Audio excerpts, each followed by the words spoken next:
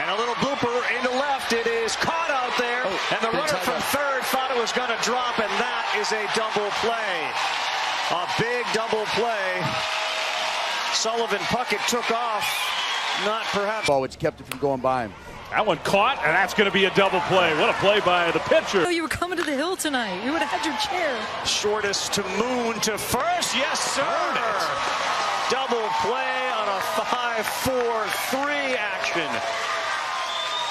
Spencer Shortest, Henry Moon, Jacob. Fastball.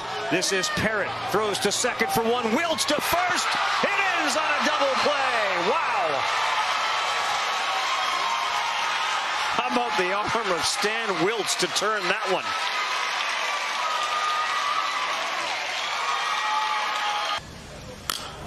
On the ground to second. No advancement now going to third, and he is in trouble. And out at third base.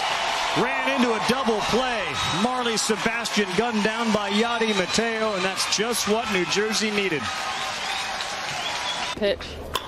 On the ground to short, and maybe that's Yes. one. That's two. Easy. that's what I'm talking. Across town, getting ready for their game. Right back to the pitcher. That's an out, and Castillo shoves oh. off the arm. What a throw. Well, if you want to know how to make the one, two, three, you watch that catcher.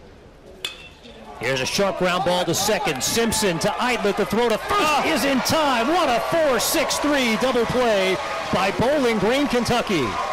This is what I've been telling. Had a girl.